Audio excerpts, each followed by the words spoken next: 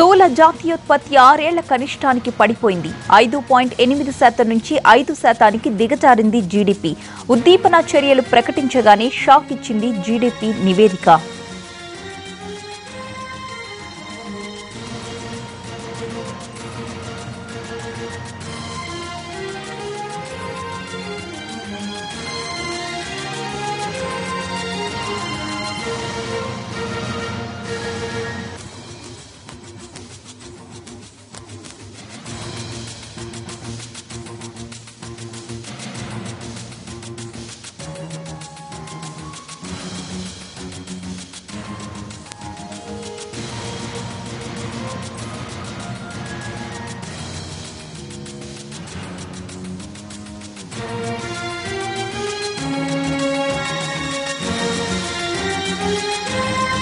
స్థూల జాతీయోత్పత్తి ఆరేళ్ళ కనిష్టానికి పడిపోయింది. ఐదు పాయింట్ ఎనిమిది శాతం నుంచి ఐదు శాతానికి దిగజారింది జీడీపీ.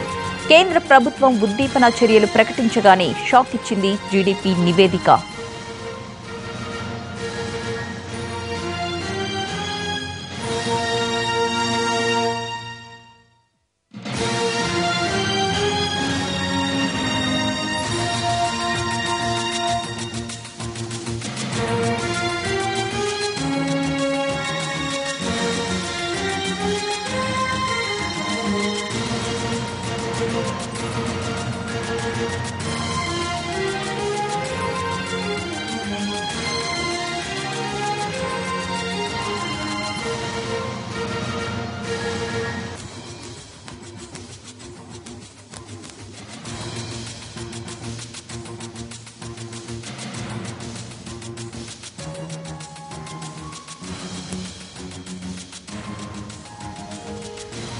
స్థూల జాతీయోత్పత్తి ఆరేళ్ళ కనిష్టానికి పడిపోయింది. ఐదు పాయింట్ ఎనిమిది శాతం నుంచి ఐదు శాతానికి దిగజారింది జీడీపీ.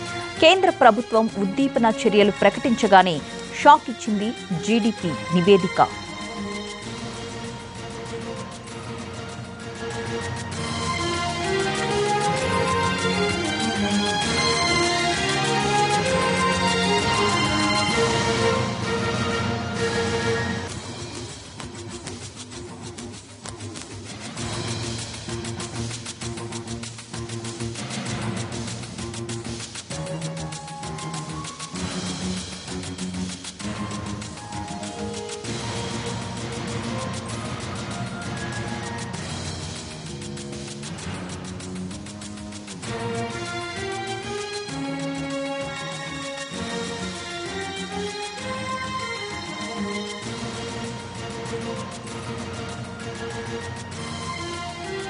స్థూల జాతీయోత్పత్తి ఆరేళ్ళ కనిష్టానికి పడిపోయింది. ఐదు పాయింట్ ఎనిమిది శాతం నుంచి ఐదు శాతానికి దిగజారింది జీడీపీ కేంద్ర ప్రభుత్వం ఉద్దీపన చర్యలు ప్రకటించగానే షాక్ ఇచ్చింది జీడీపీ నివేదిక. దీనికి సంబంధించిన అనలిజేషన్ ఇవ్వడానికి బిజినెస్ అనలిస్ట్ నారాయణ గారు ఫోన్ లైన్లో సిద్ధంగా ఉన్నారు. నారాయణ గారు స్థూల జాతీయోత్పత్తి ఆరేళ్ళ కనిష్టానికి పడిపోయింది ఇప్పుడు కేంద్ర ప్రభుత్వం ఏదైతే ఉద్దీపన చర్యలు ప్రకటించిందో ఆ తరువాత ఎలా చూస్తారు మీరు? యాక్చువల్గా మార్కెట్ uh, ఎక్స్పెక్టేషన్స్ కంటే చాలా చాలా తక్కువ అండి. Around five point five percent five point six percent ఉండే అవకాశాలు ఉన్నాయనేది మార్కెట్ అనలిస్ట్ అంచనా ఉండే.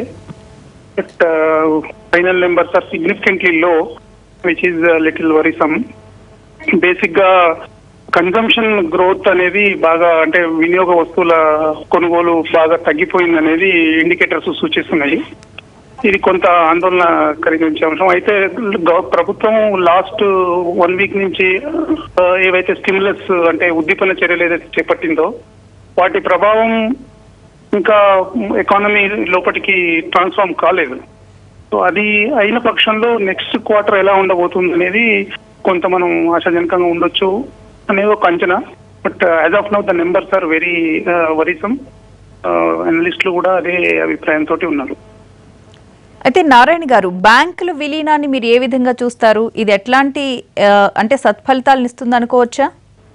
బ్యాంకుల విలీనానికి జీడిపి గ్రోత్కి ఏం పెద్ద సంబంధం ఉండదండి. బ్యాంకుల విలీనం అనేది it is long term goal by the Modi government వాళ్ళు ఇంతకుముందు ఉన్న ప్రభుత్వాలు కూడా కొంత బ్యాంకింగ్ రంగంలో కన్సల్టేషన్ అనేది కొంత ఆలోచించినాయి.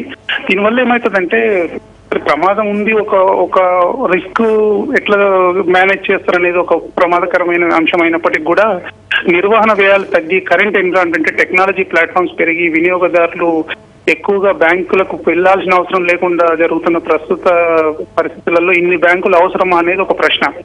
దీని ఇది బ్యాంకింగ్ రంగాన్ని కొద్దిగా ట్రాన్స్ఫార్మ్ చేయడమే అవుతుంది తప్పితే పెద్ద నష్టమే ఉండకపోవచ్చు.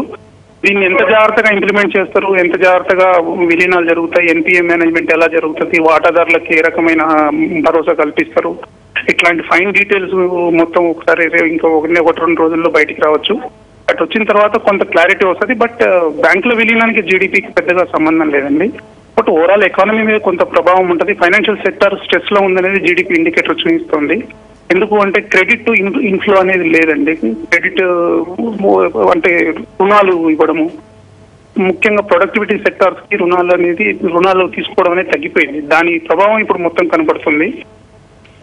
ఓవరాల్గా గ్రోత్ గ్రోత్కు దాని మల్టిపుల్ ఎఫెక్ట్స్ ఏవైతే ఉన్నాయో అవన్నీ కూడా కొంత ఇక్కడ స్పష్టంగా కనబడుతున్నాయి కాబట్టి నెక్స్ట్ క్వార్టర్ అనేది కొంత కీలకమైన క్వార్టర్ కిందనే లెక్క. రైట్ థ్యాంక్ యూ నారాయణ గారు.